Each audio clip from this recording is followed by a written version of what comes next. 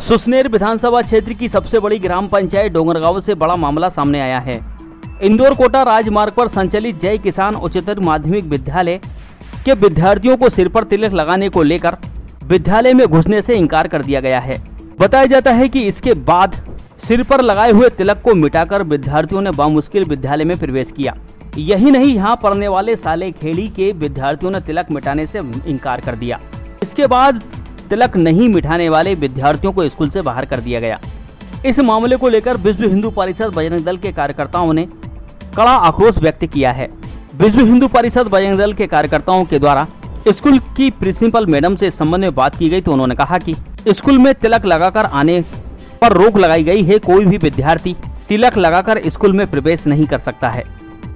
इस बीच विद्यार्थियों के तिलक लगाने को लेकर काफ़ी देर तक बजरंग दल के कार्यकर्ताओं और प्रिंसिपल स्कूल स्टाफ के बीच बहस होती रही।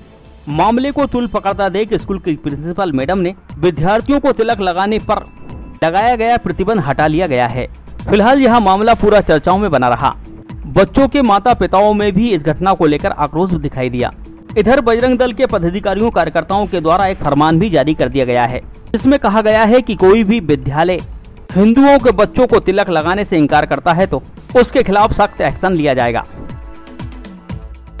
हाँ ये हुआ कि तिलक बैन है यहाँ पे एक प्रकार से। तिलक निकालने वालों को तिलक मिटाया। एक तो हम तीन दिन से निकल तिलक निकाल कर आ रहे थे तो हमें आज भगा दिया है एडमिशन तो प्राइवेट है हमारा। पर फिर भी हमें भगा दिया है यहाँ से। तो किसने आपका तिलक मिटाया? प्रिंसिपल मैडम प्रिंसिपल मैडम ने।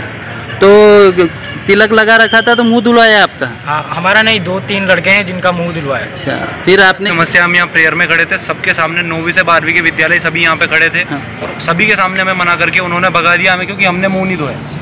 और जिन्होंने मुँह धो लिया उनको बिठा लिया हमने। अच्छा मतलब तिलक लगा के स्कूल में अंदर प्रवेश नहीं होगा? नहीं होगा उन्होंने साफ़ मना किया है कि अगर तिलक लगाना है तो कौन सा। विद्यालय है? ये जय किसान उच्चतर माध्यमिक विद्यालय डोंगरगांव। जानकारी मिली थी कि जय किसान जो विद्यालय डोंगरगांव में स्थित है तिलक लगाकर बच्चों को प्रवेश नहीं दिया जा रहा था।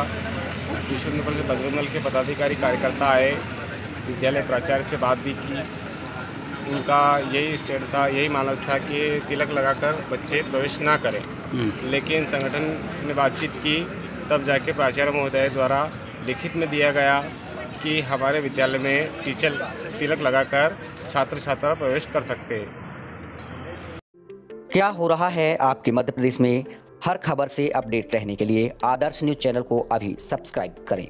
और आप हमें अन्य सोशल मीडिया हैंडल पर भी फॉलो कर सकते हैं।